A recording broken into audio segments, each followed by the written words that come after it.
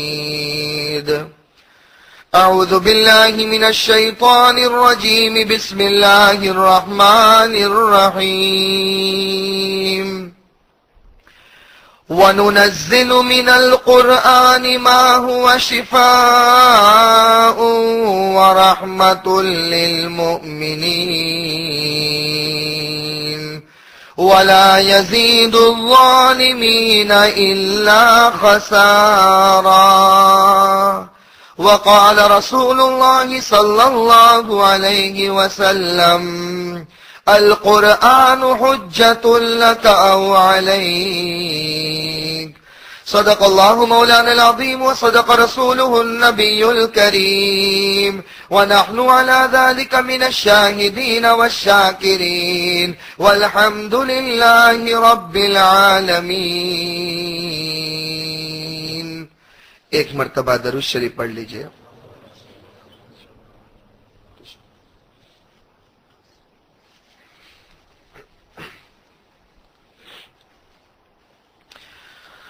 बुजुर्गान मोहतरम, उम्मत के नौजवानों, प्यारे बच्चों, और रिसीवर के वास्ते से सुनने वाली मेरी प्यारी माए, मोहतरमा बहने और प्यारी बच्चियाँ।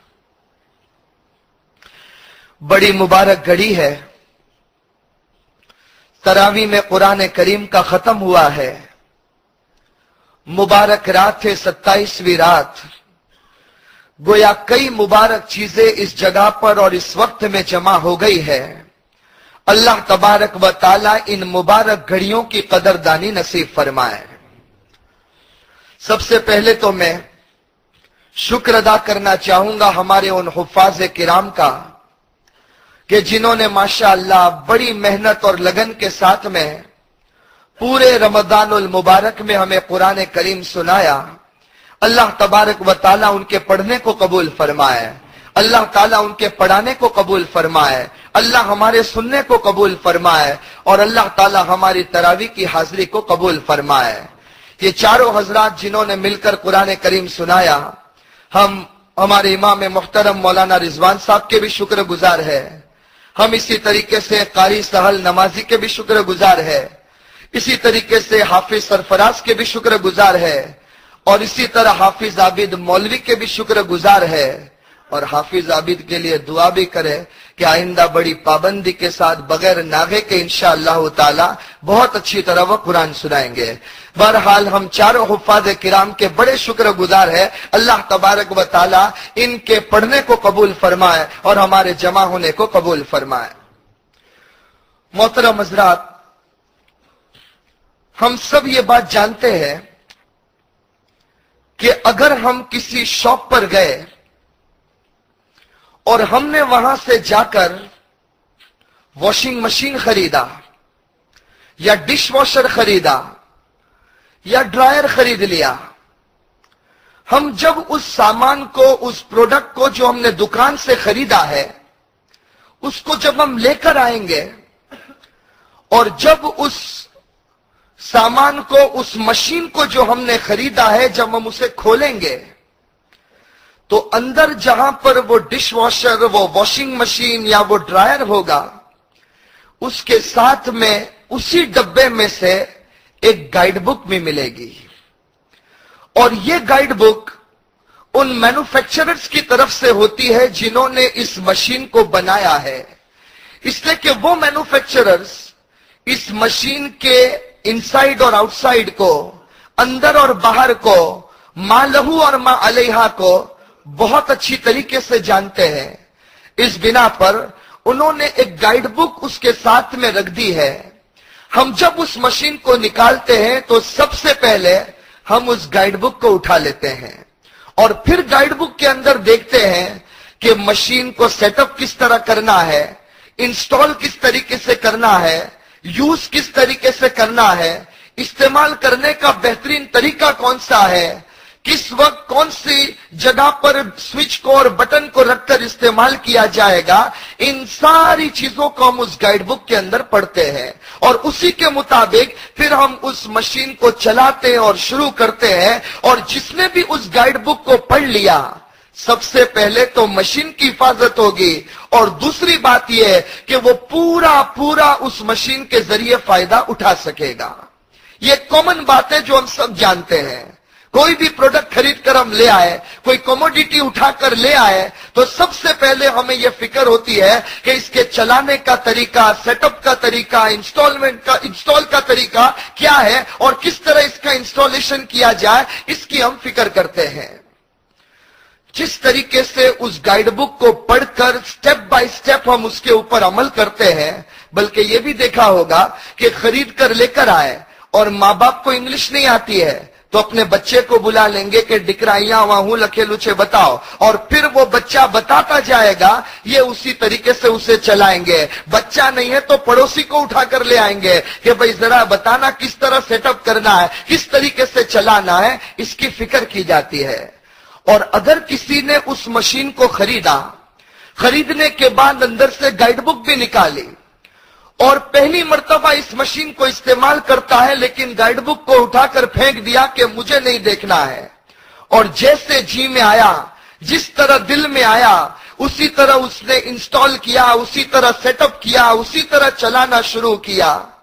नुकसान यह होगा कि या तो वो मशीन बिगड़ जाएगी या चलो बिगड़ी नहीं चल पड़ी तो जितने फ़ायदे थे, उन तमाम फायदों को वो हासिल नहीं कर पाएगा, इसलिए कि वो नावाकिफ था। और नावाकिफियत की वजह से और गाइड बुक न पढ़ने की वजह से उसके लिए प्रॉब्लम ये हो गया कि वो उसको समझ नहीं पाया। उससे ये पता नहीं चला किस तरह चलाना चाहिए तो या तो मशीन को खराब कर देगा, या यह कि पूरा फ़ायदा नहीं उठा सकेगा। मेरे भाइयों, इसी तरीके से अल्लाह तबारक व ताला ने भी इस कायनात को पैदा किया है। और इस कायनात में एक बहुत कीमती ज़िंदगी को अल्लाह तबारक व ताला ने बनाया। अल्लाह इसके मैन्युफैक्चरर है। अल्लाह तबारक व ताला ने पूरी कायनात को बनाया और खुद कुरान कहता है इन खलक़स समावाति वल अर्द अल्लाह फरमाते हैं, ज़मीन भी मैंने बनाई, आसमान भी मैंने बनाया, कायनात को भी मैंने बनाया तो कायनात अल्लाह ने बनाए, इंसान को अल्लाह ने पैदा किया, ज़िंदगी अल्लाह तबारक व ताला ने दे तो गोया अल्लाह तबारक व ताला ने इस पूरी कायनात को तैयार किया और इंसान को बहुत कीमती ज़िंदगी भी दे दी। लेकिन इस कायनात को पैदा करने के साथ और इंसान को ये कीमती ज़िंदगी देने के साथ अल्लाह तबारक व ताला ने भी एक गाइड बुक भेज दी। और इंसानों को ये कहा कि ये ज़िंदगी जिसे तुम्हें चलाना है, ये कायनात जिसमें तुम्हें ज़िंदगी गुजारना है, तुम्हें भी अगर तुम ये चाहते हो कि ज़िंदगी अच्छी तरह गुजरे, ज़िंदगी से पूरा फ़ायदा उठाओ, कायनात के जितनी नेमतें अल्लाह की है, उससे पूरे तौर पर मुतमत्ते हो तो अल्लाह तबारक व ताला ने कहा, हम भी तुम्हें एक गाइड बुक बेचते हैं, जो बुक ऑफ़ गाइडेंस है और जिसका नाम कुरान करीम है। गाइड बुक को भी भेजा और उसकी तशरी को भी भेजा। उस गाइड बुक को समझाने के लिए अल्लाह तबारक व ताला ने जनाब नबी करीम सल्लल्लाहु अलैहि वसल्लम की ज़ुबान से हदीसों को बयान करवा दिया। ये गाइड बुक ये उसकी तशरी ये कुरान, ये हदीस, इन दोनों को जो पढ़ेगा और स्टेप बाय स्टेप उसके ऊपर चलेगा, वो इस कायनात में भी फ़ायदा उठाएगा, इस कीमती ज़िंदगी को भी सही तरीके से चलाएगा और अगर उसने इस गाइड बुक को फेंक दिया, उसका इस्तेमाल नहीं किया और बगैर गाइड बुक के गाइडेंस के वो खुद की मनमानी से ज़िंदगी गुजारने के लिए गया, जिस तरह वो मशीन खराब हो जाएगी, यहाँ इसकी कीमती ज़िंदगी भी बर्बाद हो जाएगी। या जिस तरह उस मशीन से वो पूरा फ़ायदा नहीं उठा सकेगा, यहाँ पर अपनी इस कीमती ज़िंदगी से भी वो पूरा फ़ायदा नहीं उठा सकेगा। इस गाइडबुक में हमें बतलाया गया, ए लोगो, तुम्हारी ज़िंदगी बहुत कीमती है, और इस ज़िंदगी में सबसे कीमती चीज़ ईमान की दौलत है। ये ईमान है तो हम रोज़े रखते हैं। ये ईमान है तो हम मस्जिदों में आते हैं। ये ईमान है तो हम तरावी पढ़ते हैं। ये ईमान है तो आज हमें पता है कि मुबारक रात है। हो सकता है शबे कद्र हो, मारिफत की रात है। इस बिना पर हम मस्जिदों में आ गए और नियत करके आए कि मौला, आज की रात तू मेरा, मैं तेरा। आज की रात इबादत कर करके तेरी रजामंदी को हासिल कर लूँगा। ये ईमान की दौलत थी तो हमने ये सोचा, ये समझा, ये ईमान की दौलत है। हम समझते हैं कि क्या मकाम है हरमैन शरीफैन का, क्या मकाम है मक्का मुकर्रमा का, क्या मकाम है मस्जिद नबवी का, क्या मकाम है मस्जिद अक्सा का। ये ईमान की दौलत है जो हमें इन सारी चीज़ों को बतला रही है। साहब किराम रिजवानुल्लाह आले मजमाइन का सबसे बड़ा कमाल ये था। कि जो बुक ऑफ़ गाइडेंस कुरान उन्हें मिला था, इस कुरान करीम को उन्होंने पढ़ा, पढ़कर स्टडी किया और स्टडी करके अपनी ज़िंदगी में उतारा और उसकी बरकत से दुनिया में भी कामयाब हो गए और आखिरत में भी कामयाब हो गए। और याद रखना मेरे भाइयों, ये जो वॉशिंग मशीन और डिश वॉशर वगैरह आप लेकर आए, अगर इसको सही तौर पर इस्तेमाल नहीं किया और गाइड बुक के मुताबिक हमने सोप की टेबलेट यूज़ नहीं की हमने डिश वॉशर में वो उस तरीके की सॉल्ट नहीं डाली। हमने वो रिंस एड को इस्तेमाल नहीं किया। हो सकता है कि हमारा वो, हमारी वो कमोडिटी हमारा वो मशीन खराब हो जाए। ये अगर खराब हो जाएगा, इसका रिप्लेसमेंट हो जाएगा। अगर ये दुनिया का मशीन खराब हो गया, इसका रिप्लेसमेंट हो जाएगा, या उसको रिपेयर कर दिया जाएगा। लेकिन ज़िंदगी जो अल्लाह तबारक व ताला ने दी है और गाइड बुक भेज कर दी है, अगर ये ज़िंदगी बर्बाद हो गई इसका रिप्लेसमेंट कभी भी नहीं हो सकता।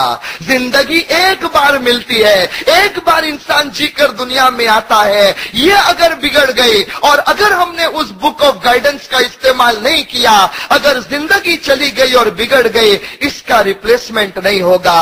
हाँ रिपेयर हो सकती है, लेकिन रिपेयर होते होते इतना टाइम निकल जाएगा कि ज़िंदगी के कीमती मौके हाथ से चले जाएँगे। इस बिना पर अल्लाह तबारक व ताला ने ये जो कुरान करीम की दौलत दी है, जिस कुरान करीम को आज हमने खत्म किया, बहुत बड़ी दौलत है, बहुत बड़ी अल्लाह की किताब है, बड़ी मुबारक किताब है। अल्लाह इस किताब की हमें कदरदानी नसीब फरमाए। कुरान का मकाम तो देखो। हज़रत मूसा सलातु सलाम को अल्लाह ताला जब तौरात दे रहे थे, खुदा का हुक्म आया, ए मेरे नबी मूसा तूर पहाड़ पर आ जाओ। हज़रत मूसा सलाम चले गए। कहा, ए मेरे नबी मूसा, चिल्ला करो। फोर्टी डेज़ तक यहाँ पर बैठकर इबादत करो। फोर्टी डेज़ तक हज़रत मूसा सलाम इबादत करते रहे, रोते रहे, अल्लाह को मनाते रहे। उसके बाद जाकर अल्लाह ने उन्हें तौरेत नसीब की है। जब इंजील को देने का वक्त आया अल्लाह तबारक व ताला ने सैदना ईसा वसलाम को फरमाया, ए मेरे नबी ईसा, तुम्हारी इबादत गाँव में चले जाओ। हज़रत ईसा सलाम चले गए।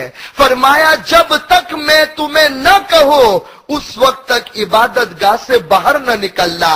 मेरी इबादत करते रहो। मैं तुम्हें इंजील देता रहूँगा। और जब तक मेरी परमिशन न मिले, उस वक्त तक इबादत गाह से बाहर न निकलना। हज़रत ईसा सलाम इबादत गाह में बैठे रहे, इबादत करते रहे। अल्लाह तबारक व ताला ने जब इंजील दे दी, उसके बाद में उन्हें बाहर निकलने की इजाज़त दी। हज़रत दाऊद सलातु वसलाम को जबूर दी गई। हज़रत दाऊद वसलाम को तो फरमाया कि जाओ तुम्हारे माबद में, माबद इबादत खाने में, तुम्हारे माबद में जाओ और इबादत करो। हम जब चाहेंगे तुम्हें जबूर दे देंगे। तारीखी रिवायत बयान करती है, कई सालों तक हज़रत दाऊद सलाम अपने माबद में इबादत करते रहे करते रहे। उसके बाद जाकर अल्लाह ताला ने उन्हें जबूर से नवाज़ दिया। लेकिन जब कुरान के देने की बारी आई, जब अल्लाह तबारक व ताला ने अपने महबूब जनाब नबी करीम सल्लल्लाहु अलैहि वसल्लम को कुरान देने का इरादा किया तो ये नहीं कहा कि मेरे महबूब इधर चले जाओ, मेरे महबूब उधर चले जाओ, मेरे महबूब वहाँ बैठ जाओ। नबी की तो शान ये है, नबी मक्का में गए तो कुरान मक्के में उतर गया, नबी मदीना में गए तो कुरान मदीने में उतर गया। सल्लल्लाहु अलैहि वसल्लम, ये हमारे महबूब की शान है कि नबी मक्का में चले गए। अल्लाह ने कुरान वहाँ भेज दिया। नबी मदीना में चले गए। अल्लाह ने कुरान वहाँ भेज दिया। इतनी बड़ी दौलत कुरान करीम की है जो अल्लाह तबारक व ताला ने हम सबको नसीब फरमाए। अल्लाह इस कुरान करीम की कदरदानी नसीब फरमाए। ये कुरान की क्या अहमियत है? और नबी सल्लल्लाहु अलैहि वसल्लम का कुरान से क्या ताल्लुक था? एक बड़ी अजीब रिवायत सुनाओ हज़रत अबू बकर रदी अल्लाह तन हो जनाब नबी करीम सल्लल्लाहु अलैहि वसल्लम के सामने बैठे हुए हैं। अल्लाह के नबी सल्लल्लाहु अलैहि वसल्लम बैठे हुए थे। आपने अपनी दाढ़ी में इस तरह हाथ घुमाया। अल्लाह के रसूल सल्लल्लाहु अलैहि वसल्लम ने अपनी दाढ़ी में इस तरीके से हाथ घुमाया। हाथ फिराया दाढ़ी के दो बाल मुबारक नीचे गिर गए अल्लाह के नबी सल्लल्लाहु अलैहि वसल्लम के दाढ़ी मुबारक के दो बाल मुबारक नीचे गिर गए। जैसे ही वो दो बाल नीचे गिरे, हज़रत अबू बकर रदी अल्लाह तु ने फ़ौरन दोनों बाल उठाकर रख लिए। प्यार था, मोहब्बत थे। नबी सल्लल्लाहु अलैहि वसल्लम की एक एक चीज़ से प्यार करते थे। अभी तो दाढ़ी मुबारक के दो बाल नीचे गिरे। अबू बकर रदी अल्लाह तला ने दोनों बालों को लिया और लेकर अपने पास रख लिया। हज़रत अबू बकर रदी अल्लाह तु की जो मोहब्बत थी जनाब नबी करीम सल्लल्लाहु अलैहि वसल्लम के साथ हम इसका तस्वुर नहीं कर सकते हैं। वो एक मरतबा का वाकया है। नबी करीम सल्लल्लाहु अलैहि वसल्लम ने एक मरतबा सारे साहबा बैठे हैं। अल्लाह के नबी सलाम ने फरमाया, ए मेरे साहबा, सुन लो, एक रात मेरे ऊपर ऐसी आने वाली है। मैं आग चाहूँगा, आग नहीं मिलेगी। मैं पानी चाहूँगा मांगूँगा पानी नहीं मिलेगा। अल्लाह के नबी सलाम ने फरमाया उस जमाने में लाइट और रोशनी के लिए फायर का इस्तेमाल होता था। तो अल्लाह के नबी सलाम ने फरमाया कि मुझे मिन जानी बिल्ला, ये बतलाया गया है कि मेरी ज़िंदगी में एक रात ऐसी आने वाली है। मैं आग और फायर चाहूँगा, मुझे फायर नहीं मिलेगा। मैं पानी चाहूँगा, मुझे पानी नहीं मिलेगा। ये जुमला अल्लाह के नबी सल्लल्लाहु अलैहि वसल्लम ने फरमाया, साहबा चले गए, हफ़्ते गुजर गए, महीने गुजर गए, एक मुद्दत हो गई। एक रात ऐसा ही हुआ। जनाब नबी करीम सल्लल्लाहु अलैहि वसल्लम रात को सोए हुए हैं। आग खुली। आग की ज़रूरत थी कि रोशनी करे तो कुछ नहीं मिला। पानी की ज़रूरत थी कि पानी पिए तो कुछ नहीं मिला। उठे, आग नहीं मिली। पानी पीना चाहा, पानी नहीं मिला। अल्लाह के नबी सलाम को वो आग भी नहीं मिली, वो पानी भी नहीं मिला। अल्लाह के नबी सल्लल्लाहु अलैहि वसल्लम उसी हाल में आगे बढ़े, अपने घर का दरवाज़ा खोला के बाहर निकले। जब दरवाज़ा खोला है तो देखा कि कोई बाहर खड़ा हुआ है।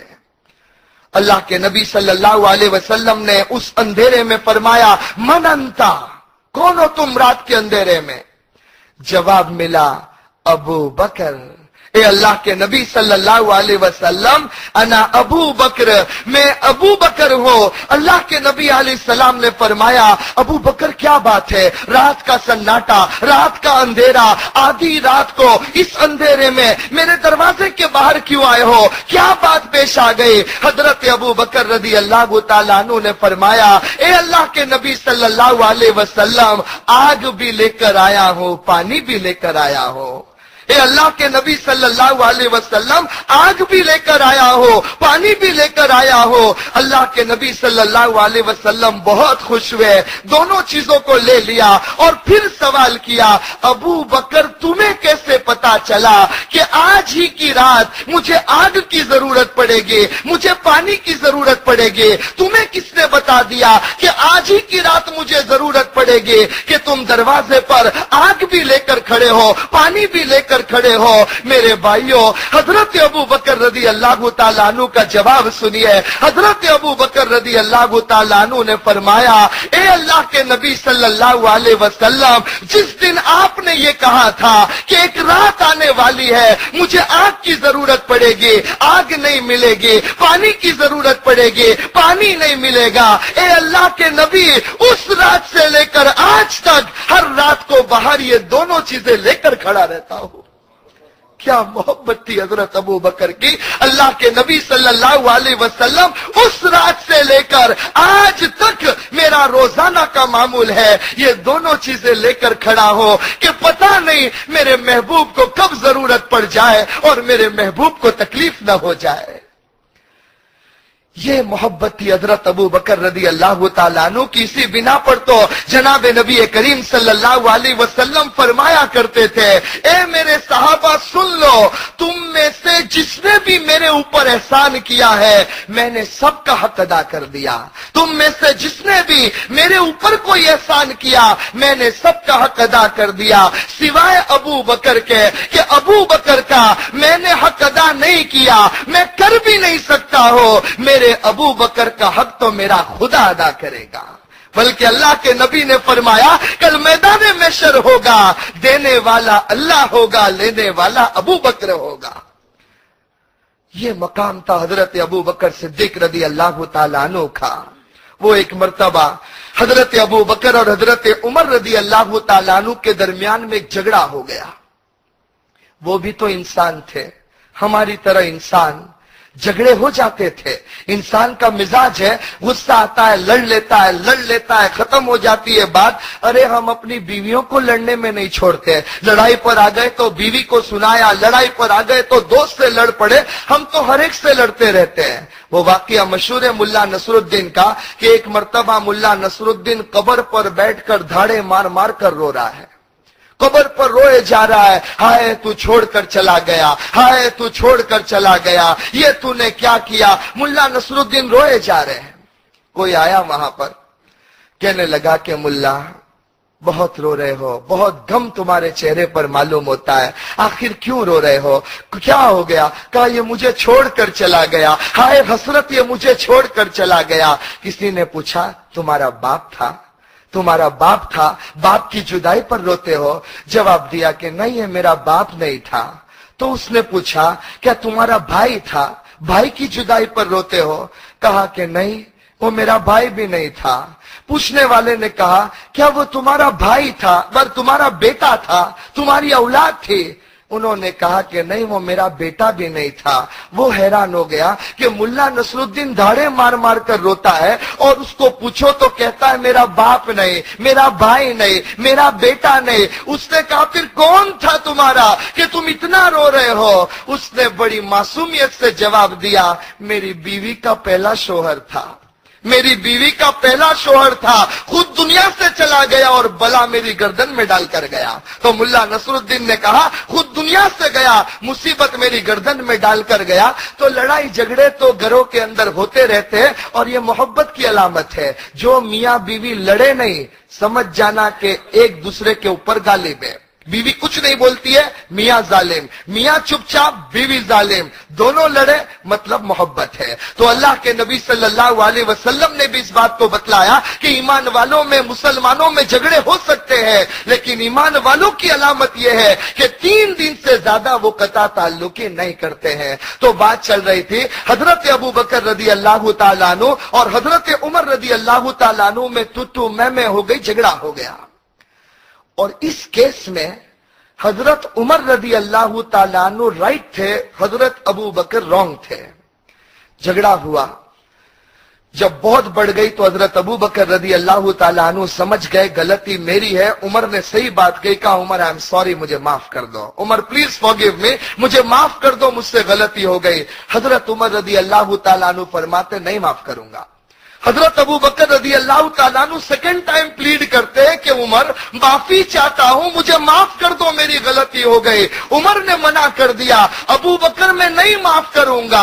हज़रत अबू बकर तड़प उठे कि मेरी गलती थी, उमर से माफ़ी माँगता हो, उमर माफ़ नहीं करते हैं। अगर उमर ने माफ़ नहीं किया तो आखिरत में अल्लाह को क्या जवाब दूँगा? हज़रत अबू बकर रदी अल्लाह तु परेशान और उसी परेशानी के आलम में सीधे पहुँच गए जनाब नबी करीम सल्लल्लाहु अलैहि वसल्लम के पास चेहरा उतरा हुआ। अल्लाह के नबी सलाम ने जब अबू बकर को देखा, उतरे हुए चेहरे के साथ आए, फ़ौरन समझ गए, मेरे अबू बकर को मंदुख हुआ है। अल्लाह के नबी ने पूछा, अबू बकर क्या बात है? ये चेहरा उतरा हुआ क्यों है? हज़रत अबू बकर रदी अल्लाह तु ने पूरा वाकया सुनाया और ये भी बतलाया, मैं प्लीड कर करके उमर से माफ़ी माँगता हूँ, लेकिन उमर माफ़ करने के लिए तैयार नहीं। अल्लाह के नबी सल्लल्लाहु अलैहि वसल्लम को गुस्सा आ गया। इतना गुस्सा आया, चेहरा बदल गया। इधर हज़रत उमर रदी अल्लाह तु गुस्से में घर पर गए, लेकिन जब घर पर बैठे तो सोचने लगे कि उमर, ये तूने अच्छा नहीं किया। वो अबू बकर झुक झुक कर तुझसे माफ़ी मांग रहे थे और अबू बकर माफ़ी मांग मांग कर कह रहे थे, माफ़ कर दे।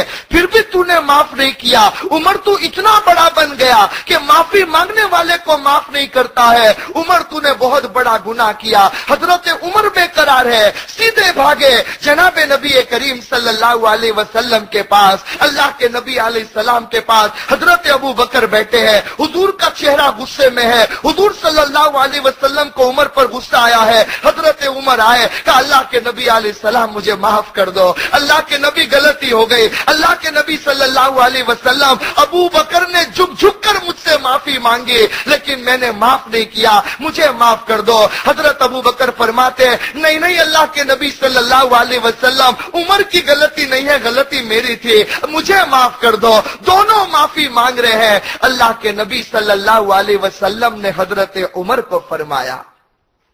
उमर जब अबू बकर ने माफ़ी मांगी थी तो तुम माफ़ कर देते हैं। हज़रत उमर ने फरमाया, मुझे उस वक्त एहसास नहीं हुआ, अब मैं सच्चे दिल से माफ़ी माँगता हूँ। अल्लाह के नबी सलाम ने फरमाया, ठीक है उमर, तुमने माफ़ी मांग ली, लेकिन याद रखना, आइंदा मेरे अबू बकर को कभी तकलीफ़ न पहुंचाना। इससे कि अबू बकर वो अबू बकर है कि जब तुम सब लोग मुझे धक्के मारते थे, अबू बकर मुझे पनाह देता था। जब सारे लोग धक्के मार रहे थे, उस वक्त एक ही था अबू बकर, जो गार में भी मेरे साथ था, हिजरत में भी मेरे साथ था, हर घड़ी मेरे साथ था। इसलिए उमर, मेरे अबू बकर को कभी तकलीफ़ मत पहुंचाना। ये मकाम था हज़रत अबू बकर सिद्दीक रदी अल्लाह तु का। यही हज़रत अबू बकर सिद्दीक रदी अल्लाह तु एक मरतबा अमीरुल मुमिनीन है। एक शख्स आ गया। कहने लगा, अबू बकर, तुम ऐसे तुम वैसे। तुमने ये बुराई की, तुम ऐसे हो, तुम वैसे हो। बुराई करता गया करता गया करता गया। हज़रत अबू बकर रदी अल्लाह तु बड़ी खामोशी से सुन रहे हैं। जब वो बोल बोल कर थक गया, हज़रत अबू बकर रदी अल्लाह तु ने फरमाया, मेरे भाई, जो कुछ भी तूने मेरे बारे में कहा, मैं ऐसा, मैं वैसा। अगर मैं वाकयतन वैसा हूँ तो अल्लाह मुझे माफ़ फरमा दे। अगर मैं वाकयतन ऐसा हो, अल्लाह मुझे माफ़ फरमा दे। और अगर जो तूने मेरे बारे में कहा, मैं वैसा नहीं हूँ तो तूने गलती की है, अल्लाह तुझे माफ़ फरमा दे। तूने गलती की है, अल्लाह तुझे माफ़ फरमा दे। ये थे सिद्दीक अकबर रदी अल्लाह तालानो बहरहाल जरा बात हट गई। मैं वो हदीस पेश कर रहा था कि अल्लाह के नबी सल्लल्लाहु अलैहि वसल्लम ने अपनी दाढ़ी मुबारक पर हाथ रखा। दो बाल मुबारक नीचे गिर गए। हज़रत अबू बकर रदी अल्लाह तु ने फ़ौरन दोनों बाल उठाए, अपने पास रख लिए। मजलिस खत्म हुई। किसी ने देखा नहीं था। मजलिस खत्म हुई, बड़े प्यार से हज़रत अबू बकर रदी अल्लाह तालानो महबूब आलम, जनाब नबी करीम सल्लल्लाहु अलैहि वसल्लम के दोनों बाल मुबारक को लेकर अपने घर पर गए और घर में एक कोने में हज़रत अबू बकर रदी अल्लाह तालानू ने अंदर की तरफ़ एक कोने में बहुत ही हिफाजत के साथ रख दिया। हज़रत अबू बकर रदी अल्लाह तालानू अंदर रखकर बाहर आए। जब बाहर आए तो हज़रत अबू बकर रदी अल्लाह तु ने सुना कि कमरे के अंदर कोई कुरान की तिलावत कर रहा है। हज़रत अबू बकर रदी अल्लाह तु हैरान हो गए, मेरे घर में कोई नहीं है, मैं अकेला हूँ, अंदर तिलावत कौन कर रहा है? फ़ौरन कमरे के अंदर गए। कुछ समझ में नहीं आया, फिर बाहर आ गए कि शायद मुझे वहम हो गया है और वहम लगता है कि कोई तिलावत करता है। हज़रत अबू बकर रदी अल्लाह तालानू कमरे से वापस बाहर आए। जब बाहर आए हैं, फिर तिलावत की आवाज़ बराबर सुनाई दे रही है। हज़रत अबू बकर परेशान हो गए। घर में कोई नहीं है। कौन है वो जो कुरान की तिलावत करता है? हज़रत अबू बकर रदी अल्लाह तु फिर अंदर गए। अंदर गए और बराबर गौर से सुनने लगे। आवाज़ सुनते गए, आगे बढ़ते गए। जब आगे बढ़ा तो देखा कि उन दोनों बाल मुबारक में से कुरान की तिलावत की आवाज़ आ रही है। हज़रत अबू बकर रदी अल्लाह तु हैरान हो गए। ये क्या? बाल मुबारक से कुरान की तिलावत की आवाज़, हैरानी के आलम में दोनों बाल मुबारक को पकड़ा और जनाब नबी करीम सल्लल्लाहु अलैहि वसल्लम की खिदमत में आए और आकर अर्ज़ किया, या रसूल अल्लाह सल्लल्लाहु अलैहि वसल्लम, कमाल हो गया। आपके दो बाल मुबारक को लेकर गया था। घर में रखता हो। बाल मुबारक में से कुरान की तिलावत की आवाज़ आती है। जनाब नबी करीम सल्लल्लाहु अलैहि वसल्लम ने फरमाया, ला ततअज्जब या अबा बकर, इन्नल मलाइकत यदूरून हौला शारी वयतलून कुरान अल्लाह के नबी सलाम ने फरमाया, अबू बकर ताज्जुब मत करना, फरिश्ते जो अल्लाह के हैं, वो मेरे बाल के इर्द गिर्द चक्कर लगाते हैं और कुरान करीम की तिलावत करते हैं। अंदाज़ा तो लगाओ। वो नबी कितना प्यारा, नबी का जिसम कितना प्यारा, नबी का बदन कितना प्यारा, नबी की अदा कितनी प्यारी। अल्लाह उस प्यारे नबी पर कुर्बान होने की हमें तोफीक नसीब फरमाए। बड़ा ऊँचा मकाम था, आकाए मदनी, जनाब नबी करीम सल्लल्लाहु अलैहि वसल्लम का। हज़रत आदम सलातु वसलाम की वफात का वक्त है। अपनी औलाद में से हज़रत सलातू सलाम को हज़रत आदम सलाम ने अपने पास बुलाया और कहा कि बेटे, तेरे बाप की मौत का वक्त आया है। तेरा बाप दुनिया से जा रहा है। बेटे, अपने बाप की वसीयत सुन ले। हज़रत आदम सलाम, हज़रत शीश सलाम से फरमाते, बेटे, अपने बाप की वसीयत सुन ले। मेरी वसीयत यह है कि जब भी कोई ज़रूरत हो, जब भी कोई हाजत हो तो अल्लाह के सिवा किसी से सवाल न करना। और ए मेरे बेटे, जब तुझे ऐसा लगे कि मेरी दुआ कबूल नहीं होती है जब तुझे ऐसा मालूम हो कि मैं दुआ करता हूँ, दुआ कबूल नहीं होती है। ए मेरे बेटे, जब तुझे ऐसा लगे तो आखिरी नबी, जनाब नबी करीम सल्लल्लाहु अलैहि वसल्लम पर दरूद भेज देना।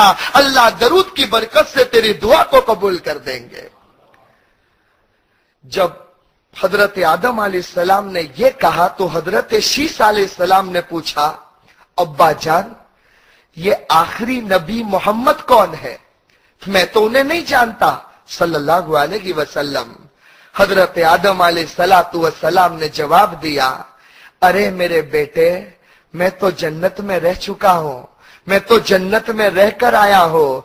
ए मेरे बेटे, कसम खुदा की खाकर कहता हो कि जन्नत में कोई दरख्त ऐसा नहीं है कि जिस दरख्त के पत्ते पर मोहम्मद लिखा हुआ ना हो। सल्लल्लाहु अलैहि वसल्लम, ये हमारे नबी की शान है कि जन्नत के एक एक दरख्त के एक एक पत्ते पर उस काली कमली वाले का नाम मोहम्मद रसूलुल्लाह सल्लल्लाहु अलैहि वसल्लम का नाम मौजूद है। तो अल्लाह ने नबी दिया वो इतना प्यारा, कुरान दिया वो इतना प्यारा ये सब कुछ अल्लाह तबारक व ताला की तरफ़ से हमें इनाम के तौर पर मिला है। हमारा फरीजा बनता है कि ये बुक ऑफ़ गाइडेंस जो कुरान करीम हमें मिली है, इस किताब के ऊपर हम अमल करें। ये किताब हमें बतलाती है, ये रास्ता जन्नत में जाएगा, ये रास्ता जहन्नम में जाएगा। नेकी करोगे अल्लाह राज़ी होगा, बुराई करोगे अल्लाह नाराज़ होगा। तो बड़ी प्यारी किताब अल्लाह तबारक व ताला की तरफ़ से हमें मिली है। हम इस किताब के ऊपर अमल करें।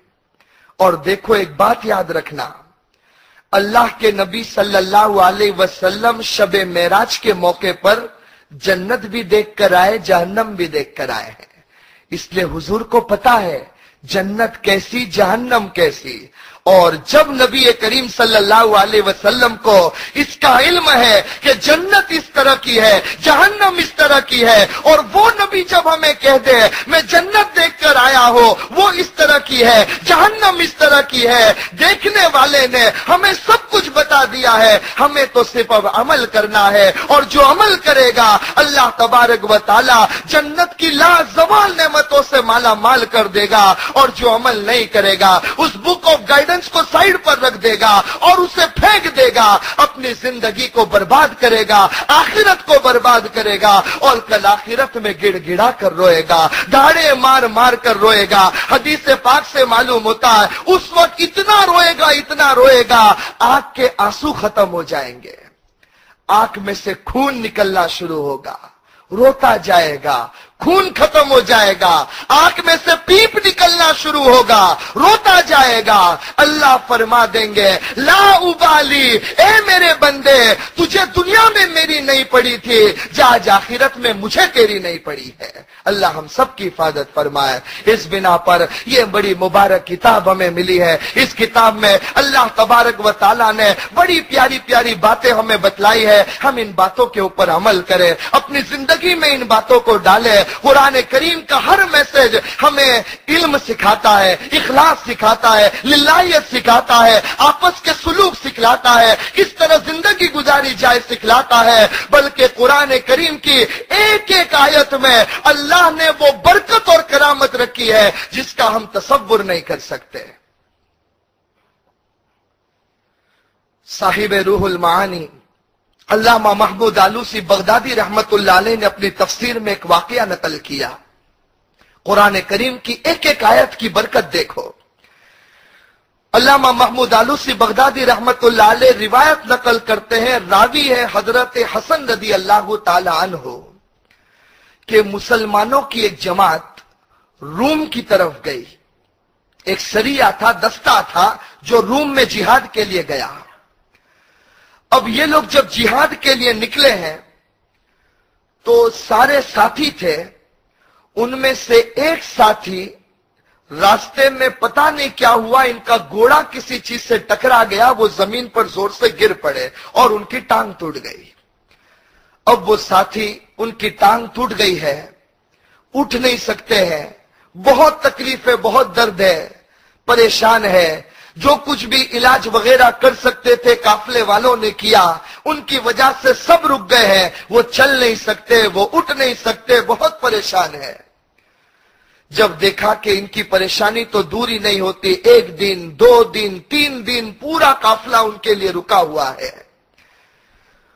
उस साहबी ने हिम्मत करके ये कह दिया कि देखो, मेरी टांग टूट गई है, मुझसे उठा नहीं जाता है। पता नहीं मैं कब अच्छा होऊँगा, कब मेरे अंदर तंदुरुस्ती आएगी। लेकिन तुम लोग कब तक इंतज़ार करोगे?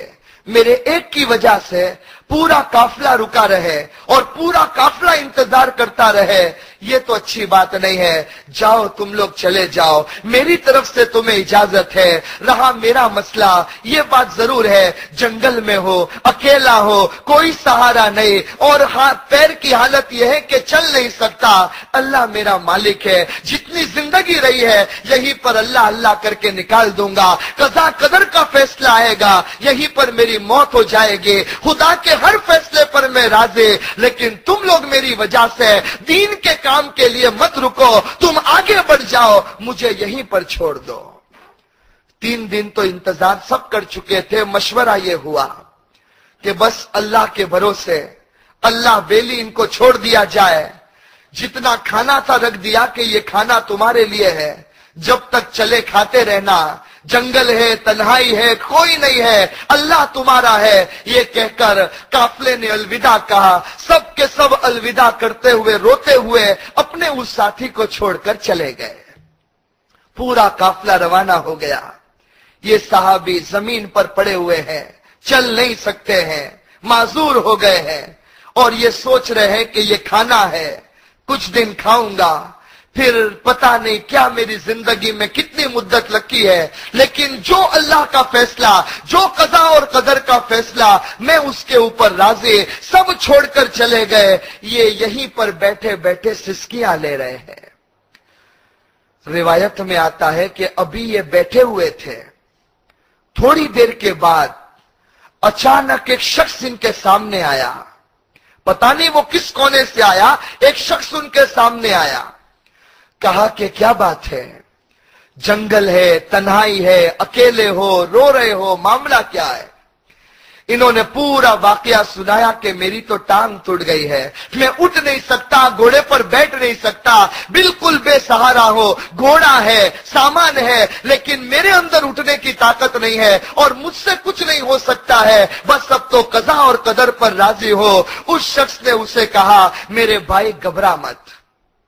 तुझे एक अमल बतलाता हूँ, ये अमल कर ले। और फिर उस अजनबी ने यह कहा कि जिस जगह पर तेरे पैर में चोट आई है, तेरे पैर की हड्डी टूट गई है, वहाँ पर तेरा हाथ रख दे। और हाथ रखने के बाद सात मर्तबा इस आयत करीमा को पढ़। आयत करीमा सूर्य तोबा में है सूर्य तोबा की लास्ट आयत। ग्यारहवें पारे में सूर्य तोबा खत्म होती है। सूर्य तोबा की बिल्कुल लास्ट आयत और उस आयत करीमा को पढ़ने के लिए कहा, आयत कुछ इस तरह है। हसबी अल्लाह अलैहि तवक्कलतु व हुवा रब्बुल अर्शिल अजीम। ये आयत करीमा आखिरी आयत हसबी अल्लाह से शुरू कर हसबी अल्लाह इलाहा अलैहि तवक्कल तो वहु रब्बुल अर्शिल अजीम इस आयत को हाथ रख उस जख्म पर और सात मरतबा इसको पढ़ ले ये कहकर वो शख्स गायब हो गया ये साहबी हैरान है ये कौन था क्या लेकर आया? क्या कहकर आया? बहरहाल डूबते को तो तिनके का सहारा। जिस वक्त ये कहा, उस सहाबी ने उसी वक्त अपने दाएँ हाथ को अपनी टूटी हुई हड्डी पर रखा और सूर्य तोबा की आखिरी आयत, हसबी अल्लाह, ला इलाहा इल्ला हो अलैहि तवक्कल तो वह रब्बुल अर्शिल अजीम। इस आयत को पढ़ना शुरू किया। एक मर्तबा पढ़ा, दूसरी मर्तबा पढ़ा, छह मर्तबा हुआ, सातवीं मर्तबा पढ़ा। उस साहब सहाबी का बयान है। हाथ रखकर इस आयत को मैंने सात मरतबा पढ़ा। कसम खुदा की खाता हो। अब जब पैर को हिलाया तो मेरा पैर बिल्कुल ठीक हो गया था। वो साहबी फरमाते, मैं खड़े हो गया। लगता नहीं था कि मैं बीमार हो। मैं घोड़े पर उछल कर कूद पड़ा। मैंने घोड़ा दौड़ाना शुरू किया और अपने काफले वालों से जाकर मिल गया। ये आयत करीमा बड़ी मुबारक, एक अमल बतलाता चलूँ। हदीस पाक, हज़रत अबू दरदा रदी अल्लाह तु रावी है। जनाब नबी करीम सल्लल्लाहु अलैहि वसल्लम ने फरमाया सूर्य तौबा की ये आखिरी आयत हसबी अल्लाह ला इलाहा इल्लाहु, अलैहि तवक्कलतु व हुवा रब्बुल अर्शिल अजीम। सुबह में सात मर्तबा पढ़ो, शाम को सात मर्तबा पढ़ो, सुबह शाम सात सात मर्तबा पढ़ो। इसके बदले में अल्लाह दुनिया के भी गम को दूर कर देगा और आखिरत के गम को भी दूर कर देगा। ये जनाब नबी करीम सल्लल्लाहु अलैहि वसल्लम का फरमान, जो फरमान गलत नहीं हो सकता। और इस वाक्य के तहत उलमा ने लिखा, इससे मालूम ये हुआ, जिस आदमी के पैर में दर्द है, अथराइटिस का बीमार है, उसके घुटने में दर्द है, उसका पैर दुखता है, वो जख्मी हो गया है, उसकी हड्डी टूट गई है, हाथ रखो, सात मरतबा ये तस्वीर पढ़ो, यकीन के साथ पढ़ोगे इंशाला अल्लाह इस दर्द को दूर कर देगा। तो ये कुरान करीम की बरकत है कि एक एक आयत में अल्लाह ने कितना कमाल रखा है, कितना इसके अंदर अल्लाह तबारक व की तरफ़ से अल्लाह ने नुसरत का वादा किया है। ऐसा मुबारक कलाम अल्लाह ताला ने हमें नसीब किया। इस बिना पर जितना हो सके कुरान की तिलावत भी करे, कुरान पर अमल भी करे और जितना कुरान से मोहब्बत करोगे, कसम खुदा की, उतनी ही नबी से मोहब्बत दिल में आ जाएगी। इसलिए कि कुरान करीम नबी के ज़रिए आया। नबी कुरान है, कुरान नबी है। हज़रत आयशा रदी अल्लाह तला को जनाब नबी करीम सल्लल्लाहु अलैहि वसल्लम के जब हालात पूछे गए, यही तो जवाब था खुलुकुल कुरान। के कुरान देखो तो नबी नज़र आए, नबी को देखो तो कुरान नज़र आए। ये अल्लाह के रसूल सल्लल्लाहु अलैहि वसल्लम पर नाजिल किया हुआ कुरान है। कसम खुदा के, जो दिल से कुरान की तिलावत करे, कुरान को समझे, कुरान पर अमल करे, कुरान पर अपनी ज़िंदगी को डाल दे, वो नबी से भी मोहब्बत करेगा, अल्लाह से भी मोहब्बत करेगा और इसी कुरान की बरकत से अल्लाह उसके लिए नजात के रास्ते खोलता जाएगा। वो साहब किराम रिजवान मजमाइन के पास सबसे बड़ी दौलत नबी की मोहब्बत थी।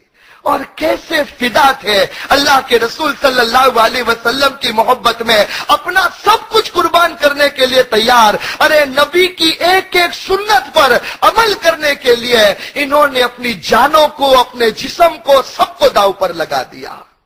बड़ा अजीब वाकया सुनाऊं। हफ्शी साहबी है, काले रंग के हफ्शा के रहने वाले। और आपको भी पता है कि जो हफ्शी उन नस्ल होते हैं, उनके बाल छोटे छोटे होते हैं गोल गोल होते हैं और बहुत सख्त होते हैं। जो हफ्शी उन नस्ल है, अल्लाह की तरफ़ से मिन जाने बिल्ला उनके जो बाल है, छोटे भी होते हैं गोल गोल भी होते हैं और बहुत सख्त किस्म के हुआ करते हैं। ये एक साहबी थे हफ्शा के रहने वाले हफ्शी उन नस्ल, इनके बाल भी ऐसे हैं। ये सहाबी रदी अल्लाह तु जब भी गुसल करने जाते हैं, गुसल करके बाहर निकलते हैं, कंघी लेकर जब बाल बनाने जाते हैं तो दिल में आता कि नबी सल्लल्लाहु अलैहि वसल्लम की हर सुन्नत पर अमल करता हूँ।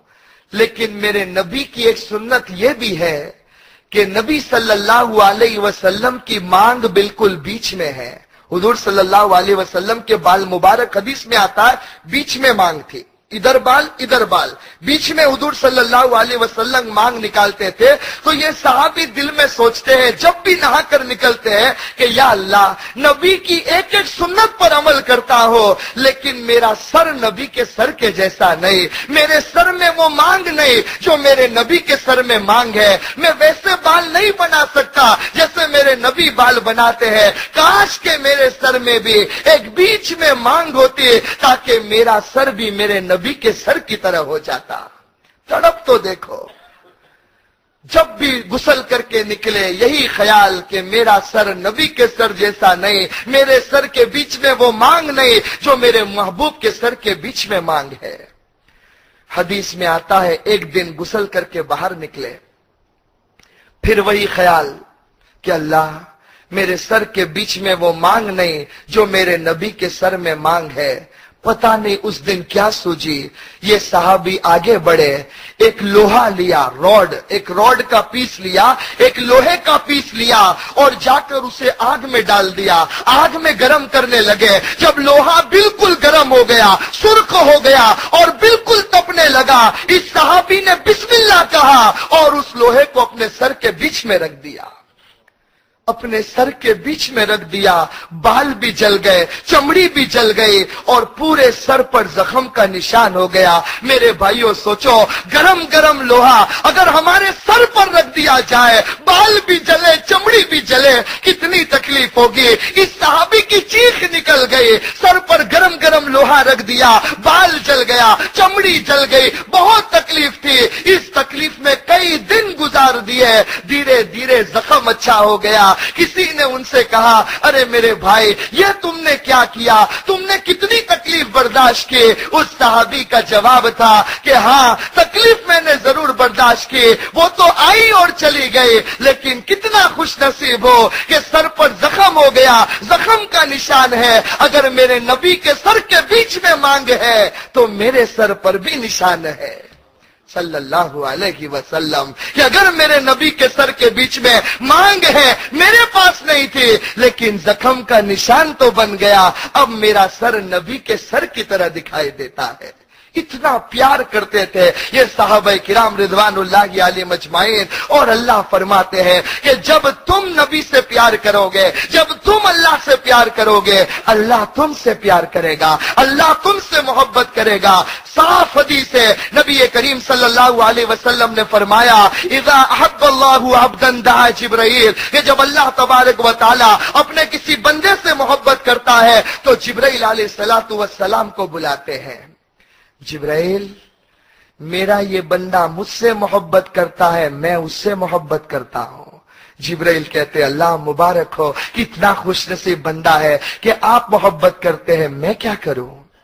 अल्लाह ताला फरमाते, जिब्राइल, जब मेरे बंदे से मैं मोहब्बत करता हूँ, तू भी मोहब्बत कर।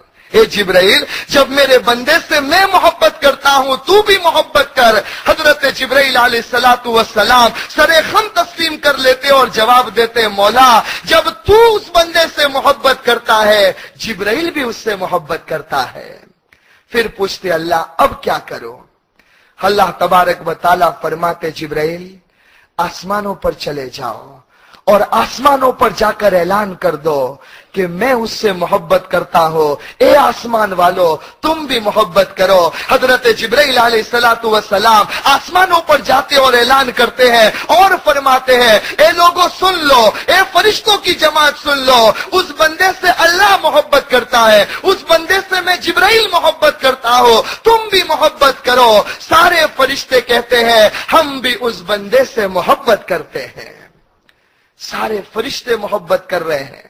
अल्लाह तबारक व ताला के पास जिब्राइल सलाम फिर जाते के मौला, ऐलान कर दिया, सब मोहब्बत करते हैं। अल्लाह फरमाते, अभी भी बाकी है। जाओ, ज़मीन पर चले जाओ।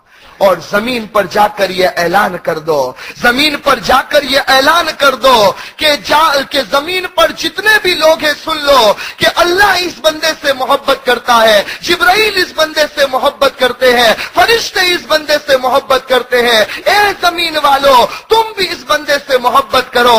हदीस पाक में आता है, जिब्राइल सलाम ये ऐलान करते हैं, जो सादतमंद लोग हैं, उनके दिल में उस बंदे की मोहब्बत आ जाती है। हदीस के अल्फाज है सुम्मयूजल फिल अर्दे कि पूरी ज़मीन वाले उससे मोहब्बत करने लगते हैं। कितना खुश नसीब है वो इंसान कि जो अल्लाह से मोहब्बत करता है, अल्लाह उससे मोहब्बत करे, जिब्राइल उससे मोहब्बत करे, आसमान के फरिश्ते उससे मोहब्बत करे, ज़मीन वाले मोहब्बत करे, और ऐसी मोहब्बत करते हैं कि ज़िंदगी भर उससे मोहब्बत करते हैं। वो दुनिया से जाता है, फिर भी उसे याद करके मोहब्बत करते हैं। ये अल्लाह तबारक व ताला की शान है कि जो बंदा अल्लाह से मोहब्बत करता है, अल्लाह तबारक व ताला उसके हो जाते हैं। इसलिए हमारे दिलों में अगर हम बिठाए तो अपने मौला को बिठाए, अपने खुदा को बिठाए, और मेरे भाइयों, ज़िंदगी का क्या भरोसा? पता नहीं कब हमारा बुलावा जाए, पता नहीं ज़िंदगी की किस गली में हमारी शाम हो जाए। और हदीस पाक में आता है कि जब मलकुल मौत किसी के पास आता है, रूह कब्ज करने के लिए मलकुल मौत कहता है कि एक शख्स सुन ले तेरी सांस में से कुछ भी बाकी नहीं रहा, इसलिए अब मैं तेरी रूह को कब्ज कर लूँगा। तेरी रोजी पूरी हो गई, तेरा पानी पूरा हो गया, तेरा खाना पूरा हो गया, तेरी साँसें मुकम्मल हो गई, और अब तेरी रूह को कब्ज किया जाएगा। हदीस पाक में फरमाया, अल्लाह इन लफ्सन तमोता, हत्ता तस्तक मिला रिज कहा, कि किसी भी इंसान को उस वक्त तक मौत नहीं आती, जब तक कि उसकी रोजी पूरी ना हो जाए। और देखो अल्लाह कैसे रोजी पूरी करता है। अगर आपको मौका मिला हो, कोई आदमी सकरात के वक्त में हो, मौत का वक्त है, सकरात में है, उस वक्त जब वो सकरात के आलम में होता है घर वाले जमजम का पानी लेकर आते हैं और चमची से उसके मुँह में डालने लगते हैं। कुछ पानी अंदर जाता है, कुछ पानी बाहर जाता है। जो रोजी अल्लाह ने उसके लिए रखी है वो तो अंदर जाता है। जो कतरे अल्लाह ने उसके लिए नहीं रखे हैं, वो बाहर चले जाते हैं। जब उसकी ज़िंदगी के कतरे पूरे हो जाते हैं, वहीं पर उसकी रूह को कब्ज कर लिया जाता है। हमने सकरात के वक्त लोगों को देखा, सांस बहुत फास्ट चलने लगती है। कभी नॉर्मल हो जाती है, कभी फास्ट हो जाती है। वो फास्ट इसलिए होती है कि जितनी साँसें तकदीर में लेकर आया है, अल्लाह उन सांसों को पूरा करवा रहा है। सांस चल चल कर पूरी होती है, फिर नॉर्मल होती है। जब सांस भी पूरी, खाना पानी भी पूरा, अल्लाह की तरफ़ से फैसला हो जाता है। मलकुल मौत उसकी रूह कब्ज करते हैं और उसका इंतकाल हो जाता है। सारी दुनिया रोती रहती है, ये अपने परवरदिगार के पास चला जाता है। मेरे भाइयों, वो दिन हम पर भी आने वाला है। वो सकरात, वो मौत, सब कुछ हमें भी सामना करना है। दुआ फरमाए कि अल्लाह, सकरात के वक्त हमारे ईमान की हिफाजत फरमाए। अल्लाह ताला हमें कलमे वाली मौत नसीब फरमाए, कलमे वाली ज़िंदगी नसीब फरमाए। तो ये किताब गाइडेंस वाली किताब, कुरान करीम वो किताब है जो अल्लाह की तरफ़ से हमें मिली। हम इस किताब को पढ़े, इसको स्टडी करें, इसके ऊपर अमल करें। कुरान कहता है, तुम हुकुकुल्लाह को भी अदा करो, हुकुकुल इबाद को भी अदा करो, अल्लाह को भी राज़ी करो, बंदों को भी राज़ी करो। हर एक के हक को अदा करो और जितना तुम लोगों के हुकूक को अदा करोगे, अल्लाह ताला तुम पर उतने ही राज़ी हो जाएँगे। इसलिए हमारे अंदर वो जज्बा होना चाहिए कि अल्लाह वो ईमान दे दे कि जब तेरा नाम पुकारा जाए, हम तेरे ऊपर फिदा हो जाए। हम भी फिदा हो, हमारी जान भी फिदा हो, हमारी मालो दौलत भी फिदा हो, बल्कि हम अपनी औलाद को भी कुर्बान करने के लिए तैयार हो जाए। ये ईमानी जज्बे की ज़रूरत है। वो साहब किराम रिजवान अली मजमाइन का यही हाल था। सब कुछ लुटाने के लिए तैयार। अरे उन लोगों का अरब की तारीख के ये वाकयात मौजूद मौजूद है कि उन लोगों का हाल यह था कि खुदा तो खुदा, अगर किसी बंदे को भी कोई मामला पेश आता तो सब कुछ कुर्बान करने तैयार हो जाते हैं। अरब में एक बाज़ार थी जिसका नाम था सुकुन नाका सुकुन नाका का मतलब है कैमल मार्केट वो बाज़ार के अंदर ऊँट बेचे जाते थे।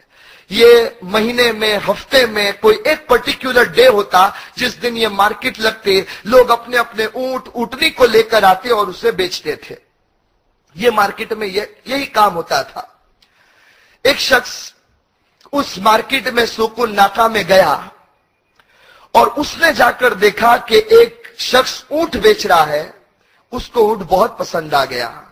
माशाल्लाह, तंदुरुस्त किस्म का ऊँट था। और ऐसी ऊटनी, बल्कि वो ऊटनी थी, ऐसी ऊटनी जो सवारी का भी काम देती थी, दूध भी देती थी और बहुत तंदुरुस्त थी, खूबसूरत थी, इसे पसंद आ गई।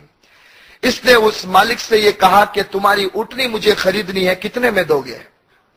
मालिक ने कहा, फाइव थाउज़ेंड दिरहम, पाँच हज़ार दिरहम की उठनी है, दूध भी देगी, सवारी के काम भी आएगी, चाहिए तो सौदा करो।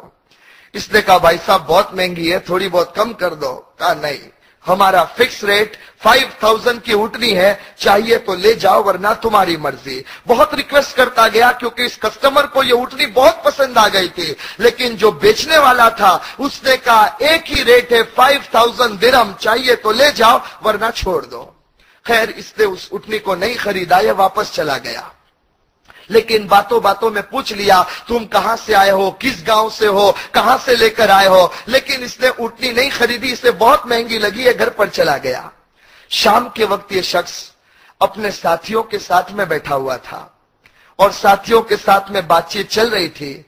इसने बयान किया कि मैं कूटनी को देखकर आया, जो 5000 दिरम से एक पैसा कम नहीं था, लेकिन बहुत शानदार और जानदार उठनी थी। जब ये कहने लगा तो उसके फ्रेंड्स कहने लगे कि अरे, आजकल तो भाव यही चल रहा है। 5000 दिरम में वो महँगी नहीं थी। आजकल उठनियों के रेट बहुत हाई हो चुके हैं। जब वो दूध भी देती है, सवारी के भी काम आती है, तुम्हारी मनपसंद है, तुमने गोल्डन अपॉर्चुनिटी छोड़ दी। अरे 5000 में बहुत अच्छा सौदा था। तुमने क्यों नहीं खरीदी। अब ये बेचारा परेशान हो गया। काश ले लेता।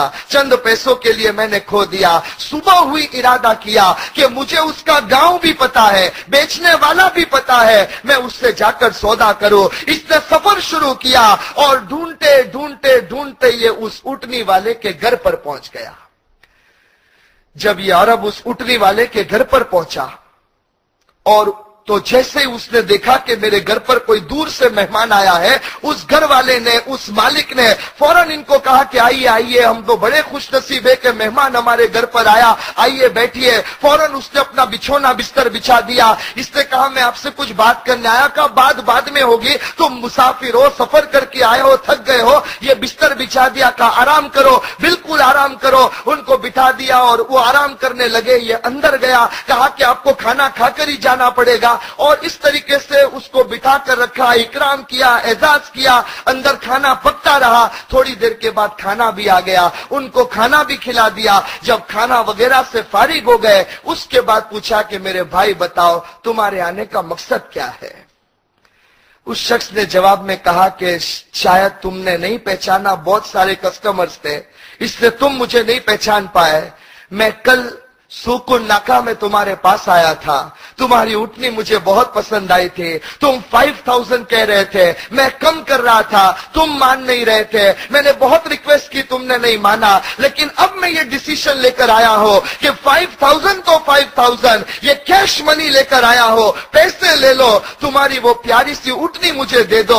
वो उठनी मुझे बहुत पसंद है। ये मेरे फाइव थाउज़ेंड रुपये दिरहम इसको तुम ले लो। मुझे उठनी दे दो। जब उन्होंने पैसे पेश किए उस शख्स ने, उस मालिक ने कहा, मेरे भाई, माफ़ करना वो उठनी तो नहीं है।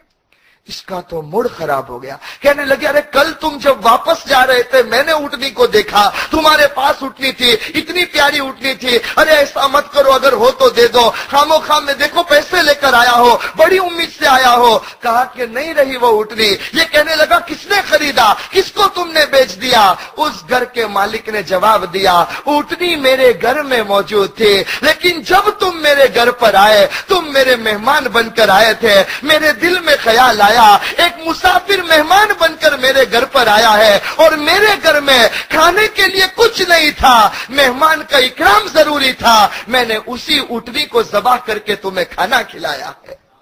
या अल्लाह, कैसे लोग थे? क्या जज्बा था कि एक बंदा अल्लाह का मेहमान बनकर आया? मेरी सबसे कीमती दौलत है, मैं उसे लुटा दो। लेकिन ये बंदा भूखा खाली न जाए, ये इन लोगों का जज्बा था। मेरे भाइयों, सोचो कि वो लोग तो इंसान को, एक अजनबी मुसाफिर को भी ये सोचते थे कि वो भूखा न जाए और वो खाली न जाए, उसकी में मैं मदद करूँ और पेट भरू। और जब अल्लाह हमसे कहे, और खुदा ये ऐलान करे, मंजल युक्रिदुल्लाह करदन हसना। ए ईमान वालो, मैं तुमसे सवाल करता हूँ कि मुझे कौन देगा? अल्लाह कुरान में कहते हैं, मंजल लदी युक्रिदुल्लाह करदन हसना। ईमान वालो, आज मैं तुमसे सवाल करता हूँ कि देखो, तुम्हारे असलाफ तो वो थे कि किसी इंसान को भूखा रहने नहीं देते, अपना लुटा देते थे, और जो था वो दे देते थे। आज मैं सवाल करता हूँ, सवाली मैं हो, माँगता मैं हो। बताओ मेरे बंदो, मेरी बंदियों, कौन मुझे देगा?